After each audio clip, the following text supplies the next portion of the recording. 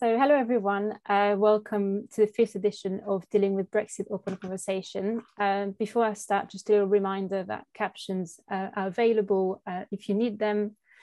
Um, my name is Laetitia Borteau. I'm a project manager at Xtrax, uh, a Manchester-based development organization for outdoor arts.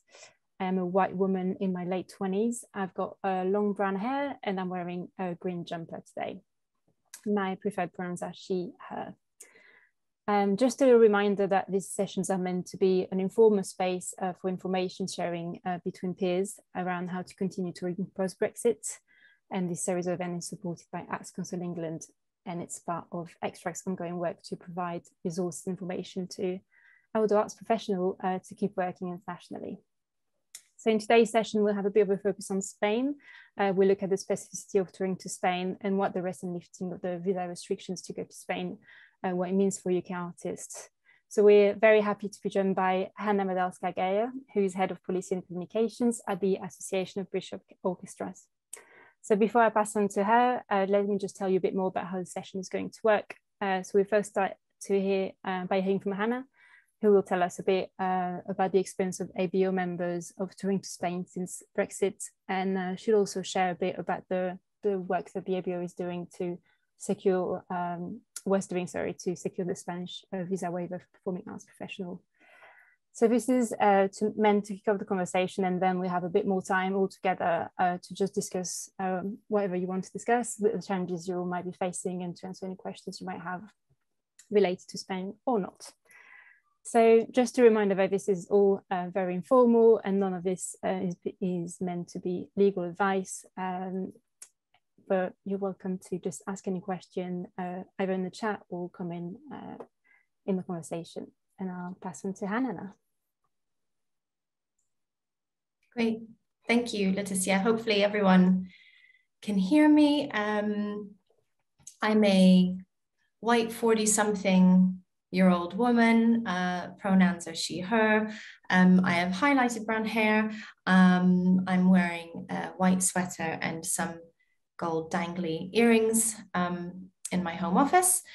Um, thank you very much for having me today. So I've been asked to speak about uh, my experience of dealing with Brexit. Um, so I'll talk about what the ABO is, um, my role within the organization, uh, and what it's been like for our members uh, to tour to Spain post Brexit and the recent changes in the regulations there. So I appreciate many of you may be independent artists or working with independent artists. Um, I'm speaking from the perspective of touring orchestras, um, so larger groups, but also um, the experience of, of their uh, touring musicians and the freelancers that they that they engage. Um, so hopefully um, that perspective will still be helpful to you. Um, I actually happen to also personally be based in Spain. I, I live in the Canary Islands, so um, I uh, don't have touring experience of Spain, but I do have experience of Spanish uh, bureaucracy, as some of you on this call also might have by the sounds of it. Um, so the Association of British Orchestras, the ABO, um, we're a membership organization, uh, and we essentially represent the collective interests of professional orchestras, youth ensembles, and the wider classical music industry throughout the UK. We have 68 full members, um, and they range from well known symphony orchestras from across the UK, um, such as the London Symphony Orchestra, um, through to smaller chamber orchestras, uh, such as Academy of St. Martin's in the Fields, um, orchestras of opera and ballet companies, um, and we have a workforce of about just over 2,000 employed musicians, uh, over 2,000 administrative staff and technical crew. Um, and our orchestras create about 12,000 engagements for freelance musicians uh, per year as well. Um, and essentially, what we do is we um, support our members. We seek to create an innovative, collaborative, sustainable orchestral sector. We provide advice, uh, intelligence, and information to, to those who work within the classical music industry. And we also connect our members with the wider music industry and wider cultural networks um, and music education bodies here in the UK and internationally. Um, and we've been doing an extensive amount of work um, to support our members as they resume touring post Brexit. And actually, um, where the orchestral sector is a little bit different to other parts of the music industry and live performances, that actually, whilst many have not been touring, our members have um, been touring to a certain degree. So we've we've been able to learn from their experience. Um, and that's what I'll, I'll share with you today. My in my role, I focus on predominantly on policy work and political advocacy. So I'm focusing on trying to resolve issues around mobility, both of people and of trucks, um, uh, uh, carrying musical instruments and equipment, both into the UK and out of the UK, um, as well as issues around customs um, and border controls, around carnets, um, and uh, musical instruments that contain uh, um, protected species. Um, but today I'll, I'll, I'll, focus on the movement of people and uh, touring artists. What I do day to day and why I suppose I can speak to you about this today um, is I, I answer our member orchestra's questions about touring to the EU. I gather case studies about their experience, experiences and the issues that they're coming up against. Um, and a large part of my job is raising these issues with politicians and with government to, raise awareness of the issues that our sector is facing and try to propose solutions um, to enable tourists, uh, artists to tour more easily. Um, so the reason I think I was approached by Xtrax is because um, we recently gathered a number of very detailed accounts of our members who were touring to Spain since Brexit um, and this was before the change in the regulations. Um, and the ABO, and particularly our chief executive, Mark Pemberton, uh, played a very key role in helping to secure the Spanish visa waiver for performing arts professionals um, that, that was secured in November last year. Um, so, of course, we don't know, you know, this is the big disclaimer, we don't know the full effects of Brexit on international touring, um, given that uh, COVID has so severely impacted um, and limited travel um, for the past two years. Um, and, and we know that um, touring artists have had the double whammy of both COVID and Brexit regulations to contend with. Um, but as I say, whilst many in live performance haven't been touring, uh, many members of our members have been um, to countries such as Spain, but also Germany and France, and more widely outside of the EU. Um, and what we know from those experiences, and, and we didn't need uh, members to tour to know this, is that Brexit has made multi country touring significantly more complicated and expensive. Um, we know that the UK and the EU did not reach agreement on a visa waiver for performers when they were negotiating the trade and cooperation agreement.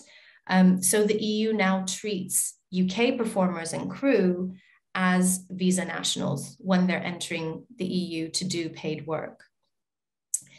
And when we raise this with government, uh, they tell us that um, government wants musicians and performers to be able to tour abroad easily, um, they say that they're making progress with many countries in ensuring that um, the EU member states match the welcoming access that the UK provides to performers coming into the UK. Um, they say that arrangements are much more straightforward than is being reported, um, that 21 member states offer visa and work permit free routes for creative performers um, including some of the biggest markets, uh, France, Germany, and the Netherlands. Um, we feel this is somewhat misleading. The reality is that the conditions for entry vary uh, for each member state with different time limits for days spent working in each country. So from Austria's four weeks per year to Sweden's 14 days per year, for example. Um, and the, the different paperwork and registration that's required. So from Spain's NIE fiscal number application, which must be done in person in Spain, to Croatia's registration certificate that's required to perform contracted work. So just some examples, and I'll talk about the Spanish number in a moment. Um, and of course, we have this added challenge of the 90 and 100 day Schengen rule for third country nationals, um, which adds a further limitation to how much time UK artists are able to spend in EU countries for um, work, visa, and permit free. Um, so, as well as urging the UK government to come to an agreement with the EU and with EU member states on removing the requirement for visas and work permits, um, one important thing that we've been working with government to provide is actually accurate guidance on, uh, on, on the rules on touring to the EU 27. So there is information on gov.uk um, to make sure that the sector has clarity about the rules, but our experience has been um, widely across the cultural sector that the onus thus far has been largely placed on the sector to produce and update its own guidance for touring artists. And I'm sure you, will have seen the excellent guidance that Xtrax have produced um, and that many across the sector are, are working on.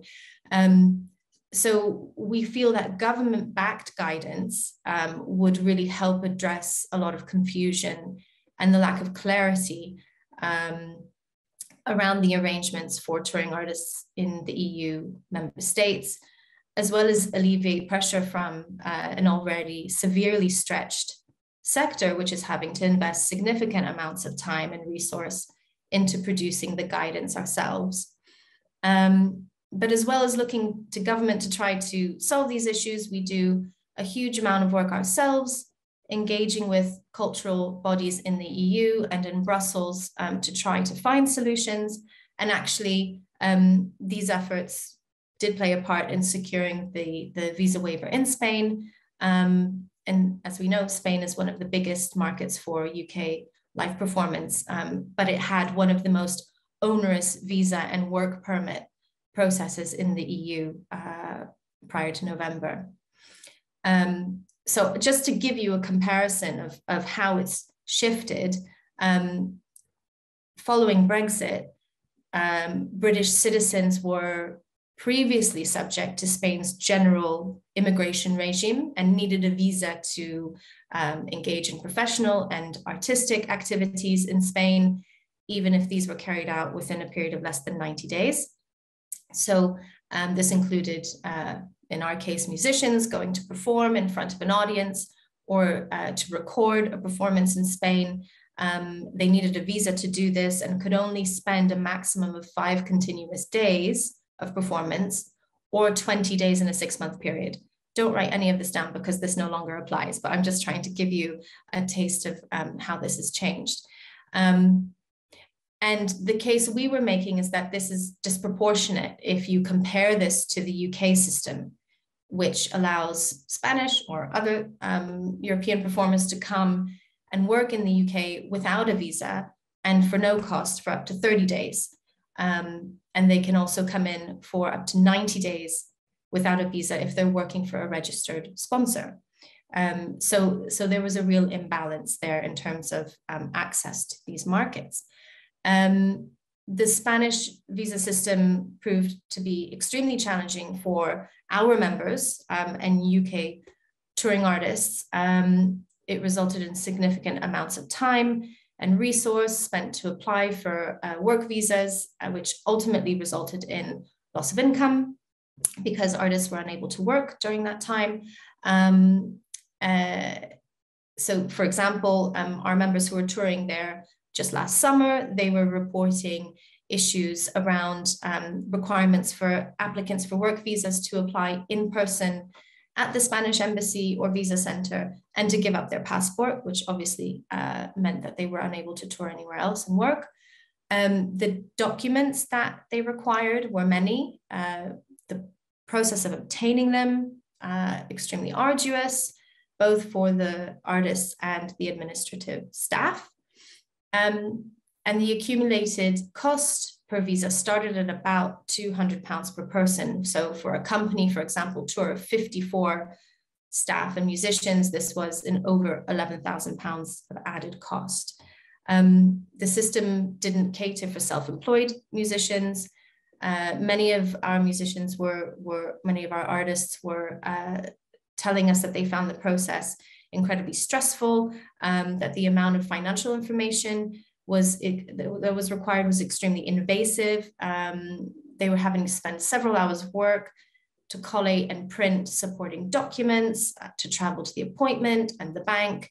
Um, and so many of them, as a result, um, told us and were quite vocal on social media about the fact that they would not want to work in Spain again if visas uh, continue to be required. And um, some of our touring organizations were seriously canceling, considering canceling future engagements in Spain um, if visas were, were going to be continue to be required. But the good news is um, that in mid-November last year, Spain waived the requirement for obtaining visas for artists touring to Spain for short-term engagements.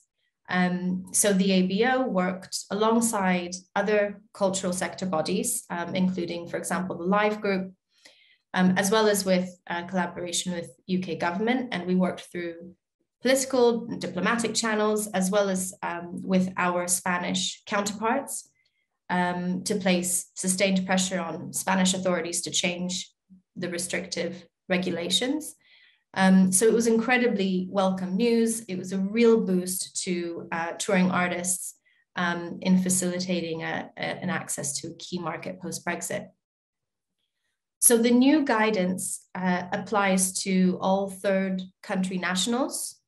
So that includes UK nationals, um, carrying out artistic activity performed before the public or recording of any type to be distributed via mass media within a period of uh, less than 90 days.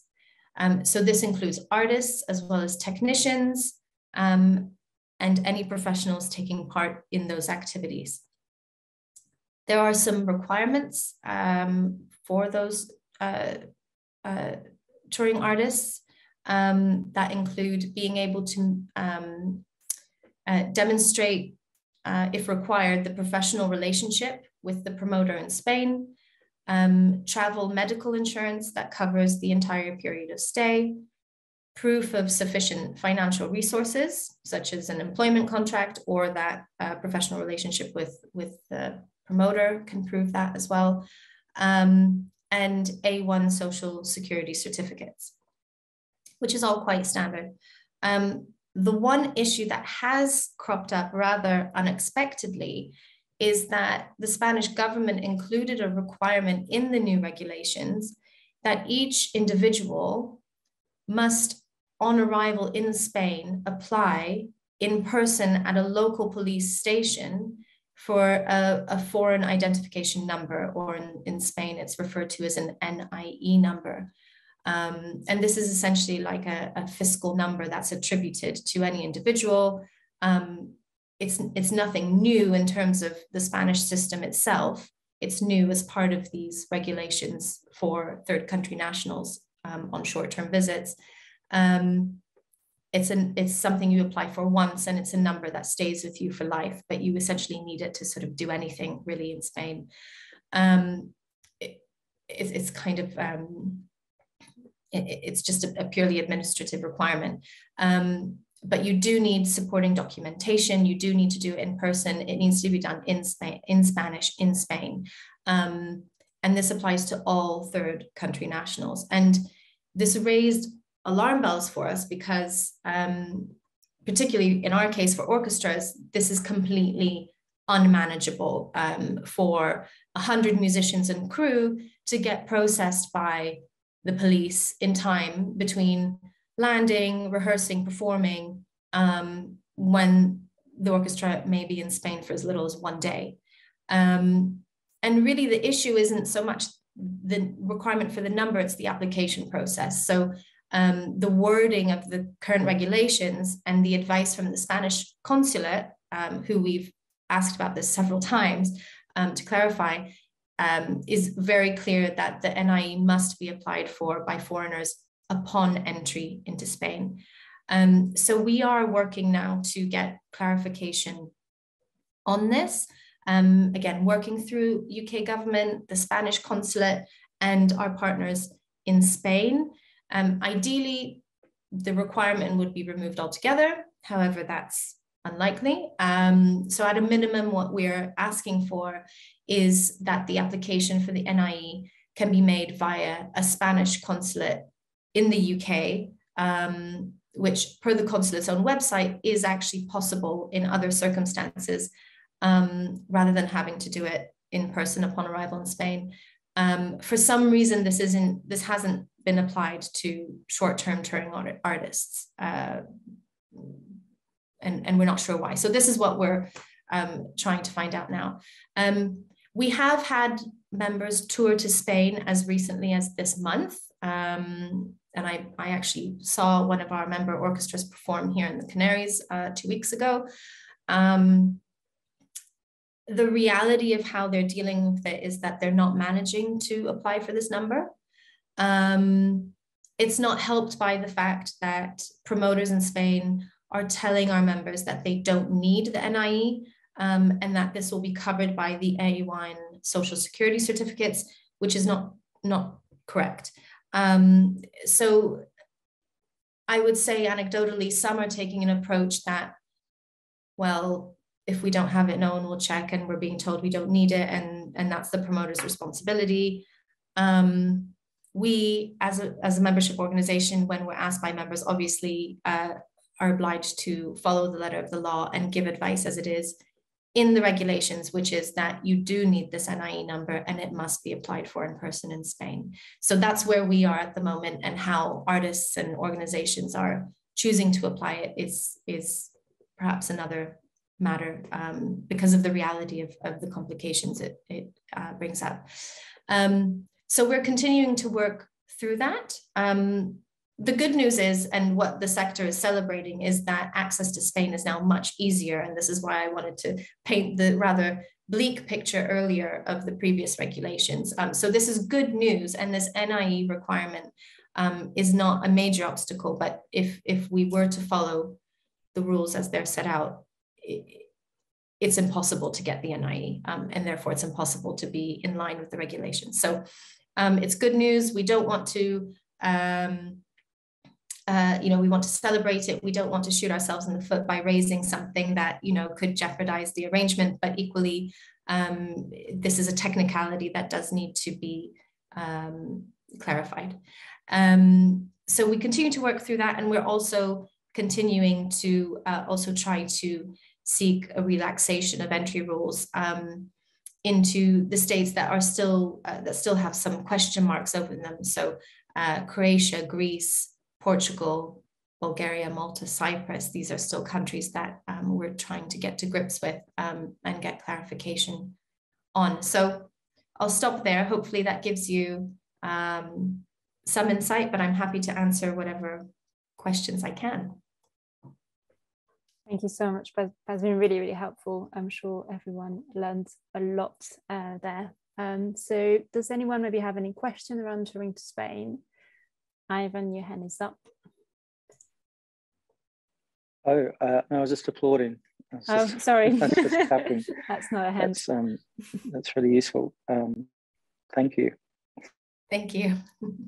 Anya, your hand is up. Just a quick question. Um, the the touring period. Can you can you repeat that one more time? Is it how many days within the how many days period? Sure. So so um, generally, so within Schengen, it's 90 days within 180. Um, and most of the EU 27 states apply that. Most are permit free with that time period. But then again, as I say, each member state does vary um, from country to country, but generally it fits within that 90 day rule. Um, and of course, the 90 day rule is, is challenging in itself because obviously, if you're a touring artist who, say, you like to spend lots of time holidaying in the south of France and then you come back and then you need to go back for work all of that counts towards towards your 90 days so this is something that we're also working with our uh, partners in um, brussels on uh, trying to uh, ease or find exemptions to Thank you. Any other questions around touring to Spain? Yes, Anya. Sorry, actually, one one follow up question. That only applies, of course, to UK nationals, right? So if in the company there is lots of European nationals, as in German, Spain, Spanish, or whatever, that wouldn't apply to them at all. Uh, yeah, it applies to third country nationals um, within Schengen as European citizens. There's obviously free movement, um, but it it does apply differently for paid work. Uh, so that is where you do need to make sure that you know, and I put the disclaimer on all of this is that you must check, obviously, with whatever your um, whatever country you're touring to, um, even for European citizens, to make sure that that you have the right, you know, registration certificates or whatever it is that apply for paid work. It's different, obviously, if you're just traveling um, as a tourist, but for undertaking paid work, then you know you, you do need to check the rules that apply. But yes, it, this is largely for UK nationals and that's that's based on the individuals. It's not based on the company being registered in england for example. No where the company being registered in england will um, affect things is obviously things like social security contributions. Um, you know if if they're employed um, on PAYE, paying national insurance and tax here in the UK, how that's offset uh, with with social security contributions in, in the EU. Um, so uh, again, each country will have their own requirements. Most require A1 certificates, which are social security contribution certificates. Um, uh, so yeah, that, that in terms of where the company is registered, that's that's really what you'll want to check. Thank you, Hannah. I think Liz, you've got your hand up. Thanks. Um, so have you ever come across um, um, something that's a, an alternative to an A1? Um, uh, the reason I'm asking is um, we recently needed an A1 for working in Switzerland. Uh, we're both dual national. Um, I got one, but because Daniel's originally Swiss, we think he was given a, a, a different certificate, which is not an A1, but they said, well, it does the same. So uh, does Hannah have any experience of people applying for A1s but not being um, uh, getting an A1, and um, and then that being okay or not okay. Um, so A1s are a real pain, um, as you know. Um, I don't have a short answer for you. What I would say is that again, the A1 requirement varies from country to country. Some countries are extremely insistent on it and won't pay their performers until they're presented with a physical A1 certificate. Others are a little bit more lenient. Um, uh, I don't know an alternative to the A1. Um, I don't know the answer to that, whether there's an alternative or not. What I do know is that um, the the the norm is, is the requirement for the A1 certificates within the EU. Switzerland not being part of the EU, perhaps there's a different uh, arrangement there, um, as there would be with Norway or um, Iceland, Liechtenstein, and other countries. But um, with the EU, uh, you would normally be required to present the A1, particularly in Southern European countries. So France and Spain, for example, in particular, are very um, quite strict about that requirement. But of course, there's I do know that um, there are often delays in getting the A1 certificates through HMRC, um, and that's and, and, that's a that's a real frustration. And one of the things that we have been speaking to government officials about is whether there's any way to digitize the process. Um, so far, uh, there is not much progress on that. Thank you. As Jay, you've got a question? Yeah, I was just wondering, you mentioned um, needing supporting documents to get the NIE registration in Spain, but I didn't know what those supporting documents might be. Okay, so um, there's a um, an application form that has to be filled out um, which you get from the Spanish consulate uh, website. They have links that will take you yeah. to the various um, requirements. But the supporting documents can be, it depends a bit on your situation, but it can be um, a, a, work contract, um, something that demonstrates that you have enough uh, funds in your bank account to sustain yourself when you're in the country. Um, sometimes they'll require the, to see the medical insurance cover. Um, they they um, it, there are standard documents, but it can kind of depend on the mood of the day of the officer that you're seeing. And this is part of the reason why we're working so hard to remove this requirement to do this in person in Spain, because it will vary region to region. It will vary depending on the officer you get. Um, so, uh, you know, but generally it will be proof of um, proof of work, proof of financial funds, proof of health insurance. Yes, I am unfortunately familiar with the um, vagaries of Spanish bureaucracy. And of course, this all has to be also done in Spanish. Um, uh, yeah, and costs about 12 euros. Merced, did you have a question? Um, no, it was more to do with um, with with companies instead of individuals. So um, yeah, that wouldn't apply probably do this. So thank you. Great. Yes, Victoria. Hi. Um, so we tend to, when we're doing our outdoor um, touring, we tend to travel with a driver. Do you know if they would qualify for the visa exemption or whether we need a, to get one of our technicians to be driving? Um, well, the, the uh, visa waiver applies to crew, uh, so anyone who's involved. It's a good question about whether the driver um, qualifies. Um, I think if they're associated with the production, then yes, but uh, I would have to triple check. Um, I think that you know it, it's also whether the driver is staying with you through the duration, um, because obviously, of course, there are different rules that apply to um, to uh, transport and vans and trucks uh, now, because now we're we're under new road haulage rules under the TCA, um, so cabotage rules um, and limits. So I don't know if you're traveling with your own van or if you're um, going with uh, an events haulier, but all of that, all of that plays a part in it. Yeah, we um we have our own vans, so we'll be traveling with that. So I also have many questions about cabotage. I don't know if the time to raise that or whether the um I'm I'm happy to yeah. um, so cabotage is one of those things I've had explained to me many times and does just keep um, keep mm. my head. So any summary that you could give would be fantastic.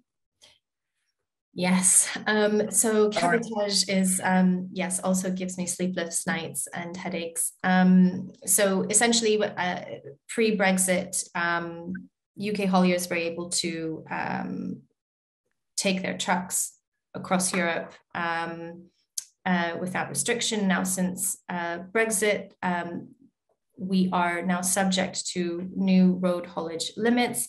So, in your case, Victoria, with your own van, I suspect you're operating on what's called own account, um, which means that you would normally have had a cultural exemption uh, in Europe to be able to take your equipment and your sets um, as you needed across Europe.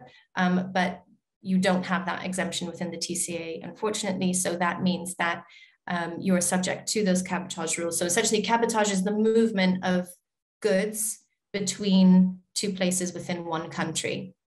Um, you then have what's called cross trade, which is from country to another country. Um, and you have bilateral movements, which are from the UK into the EU and back. And there are limitations on each of those things. So um, now, under the new TCA rules, um, you can only do two stops or two unloads of your set um, after your initial journey into the EU. Um, and only one of those can be cabotage, and it has to be done within seven days. So it's extremely limiting. Um, the, the the the road haulage limits are are really one of the most limiting um, elements post Brexit.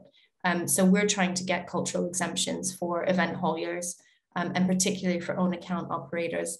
Um, but as this is something that's agreed at EU level, it, it's very this is something that's very difficult to change because the UK government's not keen on re-entering into negotiations with the EU on this. So I don't know if that that's a, that's the synopsis, Victoria, but I'm happy to you know if you have I'm sure you have more questions. We, I'm happy to help if I can separately. Thank you, Hannah. Merci. Yes, uh, actually, I'm going to ask it I, I don't know if it's um, uh, if you can help me. Um, it's, it's more to do with the invoicing side side of it. So we are not we are a small company and we are not VAT registered. Uh, anytime that we had to invoice, we we applied for this ROI number, but then organizations back in Spain, they don't have the same numbers and systems. So literally our number kind of doesn't fit their forms because they are quite rigid. So sometimes it's like it's an app and because we are we are both Spanish, who um, both of the artistic directors, then we managed sometimes to do it, you know, using our NIE and all of that. But I don't know if there's a way that to do that with, you know, if you are, but if you don't pay VAT. Um, you know i, I don't know i don't know the answer to that question um, i can certainly try to see what i can dig up but I, i'm afraid i don't know the answer to that um, not many of our members come to us with questions around vat okay I'm sorry. it's sorry. It's actually because yeah, we're been, not. because we are not VAT registered. We're not VAT registered. I I have this problem because I have my own production company. Little Soldier is also a, a company based in the UK. We are both registered companies, and so we have. I'm just looking at my registration certificate over there. We have uh, a, a seven-digit red company registration numbers, and the Spanish system can only cope with eight-digit registration company registration numbers.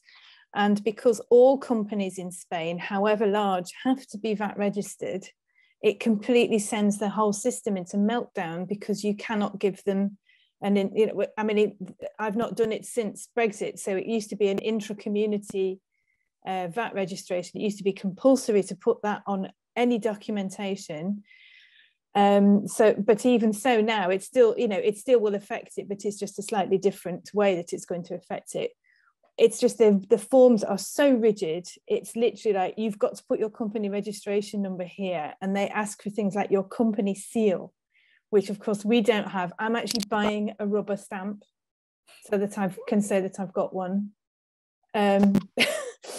and, and it's I think people don't understand what they're being asked for when they're asked for a company seal and think and stupid things like that you know because they're so rigid and they and they i mean surely they uh, must understand that literally not everybody in the world has the same system as spain i mean heaven forfend but yeah i wish i wish i could give more insight to that question and i suppose i would just encourage you to ask any i suspect you work with promoters um, and partners in spain and perhaps that's something they can help with and you know if they have accountants or someone no they can't help i mean yeah. no so far like we've we've, we've asked so many accountants everywhere so, you know like um it's the kind of question i'm always like oh do you know how to do this and no one no one knows like you yeah. have to kind of engineer some magic in order yeah I, I nearly broke the catalan government um, finance system trying to get a payment out of them a few years ago uh, and i i still don't think they've recovered. I just Maybe, had a quick one. Yeah i just on. had a quick one on cabotage just in terms of that um, own vehicle thing because we're very similar we've got a vehicle and i just wonder is that so are you saying that we can only make two unloads even if we have our own vehicle because I didn't think there was any restrictions on that, but I was just curious about that. Yeah, I mean, essentially, what the cabotage rules limit is how many places and times you can stop and unload your truck before having to come back to the UK. So essentially, you can only make two stops within one country after you've originally arrived to your original destination and then you have to come back to the UK, or you can do one stop in one country, another stop in another country, and then you must come back into the UK. Um, it's extremely restrictive. And where own account operations um, are concerned, the, the same applies. Um, there is an exemption for, in the music industry anyway, there's an exemption for splitter vans. Um, and that essentially would mean that you've got people and equipment in the same van. Um, so I get it really applies to kind of rock and pop touring, but maybe it's something that puppets with guts can can apply. Um, uh, because they're there, you, you don't, you're not subject to the restrictions. There's an exemption for splitter vans, but there are no other, cool. no other exemptions for other trucks. Thank you. That's really helpful. Thank you. Yeah. Lissy. Yeah, I think this might be the same thing as the splitter van thing. I was told by someone like that um that yeah, if we tour in a splitter van essentially, that that could be covered under the interbus agreement and so cabotage wouldn't apply. Um, which sounds like it might be the same thing as, yeah, splitter vans don't have to do this cabotage business. Yeah, splitter vans are exempt. Um, they have an exemption from the regulations.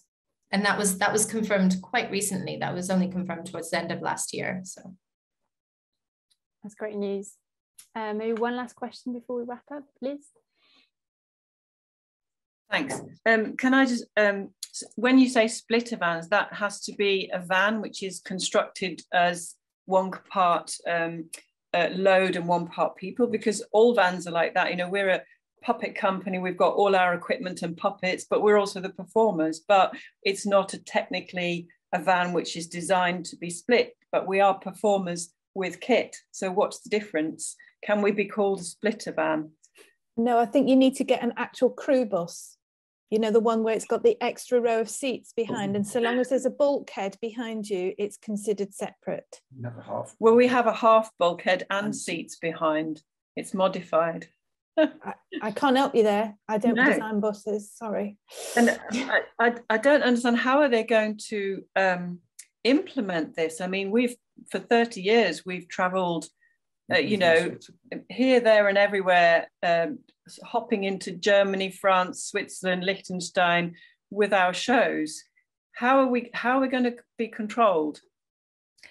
Um, the short answer. So on splitter vans, I I couldn't tell. I couldn't answer the technicalities, but there, you could definitely find that out um, from um, you know, even um, our partners like the Musicians Union, for example. So th those who operate more in that space will have a lot more detail of what exactly constitutes a split van, and you know. But a lot of these questions you're asking actually often we don't have a clear answer to from from officials so we're we're figuring it out as as we go as well um, and that's why i say the splitter vans issue was something that was uh, only confirmed sort of towards the end of last year. So um, th there's a lot of confusion around a lot of it still.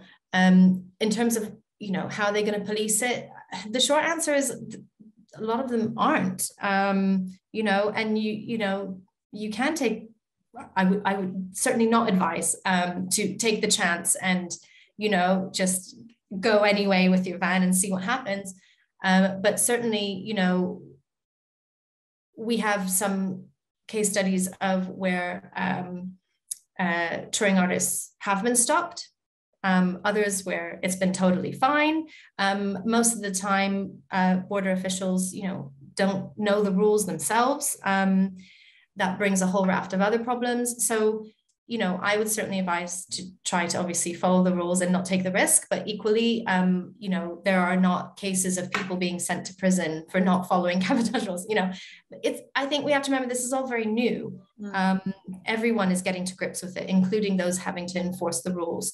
So, you know, and because we haven't had the volume of touring that we would normally have because of COVID, I think all of these teething problems are only starting to come out now. So the, there are things that, you know, we never expected to have to deal with that we're now all dealing with. So, um, you know, we, we can only work with the rules as far as we understand them. Can I just ask one very quick last question? The you're talking about the exemption, was, and you mentioned it's obtainable through the mu musicians union. So you have to be a member of the musicians union. Oh no, right? no, no, no. I meant that they'll have information about, for example, what is a splitter van. So you don't obtain the the exemption. It's just that splitter vans aren't required under the new regulations. But um, what I'm suggesting is, uh, you know, if you check the musicians union website, for example, um, under touring, the, you know they they have lots of information about Brexit and touring the splitter vans um, because they deal with musicians who who travel in that way more. Our members don't travel in that way, um, but you could find more information there. Thank you. Thank you so much. It's been a really, really interesting conversation. Thank you, Hannah, so much for sharing all of your uh, knowledge uh, with us. Um, I think what will be really useful for us uh, as Xtrax to know is uh, amongst uh, all of the companies uh, present today, which of you have any booking uh, confirmed or penciled in Spain or any other countries uh, in Europe? So if you could just pop in the chat uh, if you if you feel like you have anything to share, that'd be really useful for us to kind of keep an eye on what's happening. Um, so yeah, thank you everyone for coming today. Um, I hope we found it useful. Uh, I just wanted to finish by announcing that we are looking at implementing a few more services to support UK artists uh, to tour in Europe post Brexit. Uh, we will provide soon um, a visa and work permit service uh, in partnership with a visa specialist company. So if you have, for example, a tour with a specific project in mind, like if you have a, um, a gig in Germany, but you're not quite sure uh, how the process will work to get there, if you need a visa or not, how much will it cost, uh, we can put you in touch with that visa specialist company and they can advise. We're also looking at the possibility of ATA carnet training. So if it's something you're interested in, uh, please uh, send me an email. Same thing with the visa service, just drop me a line and I'll, I'll register your interest.